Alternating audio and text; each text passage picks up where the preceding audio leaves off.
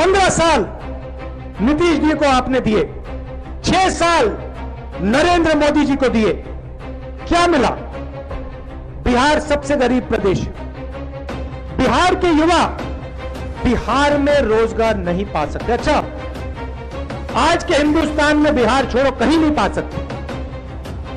ना मुंबई में, ना बेंगलोर में, ना दिल्ली में, क्योंकि नरेंद्र मोदी ने रोज़गार खत्म कर दिया देश। में बिहार के किसान को सही दाम नहीं मिल सकता।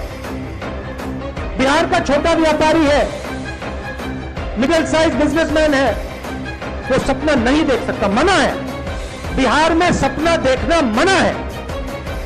ये सच्चाई है। सपना देखना है तो बाकी हिंदुस्तान में जाओ। काम करना है तो मुंबई जाओ।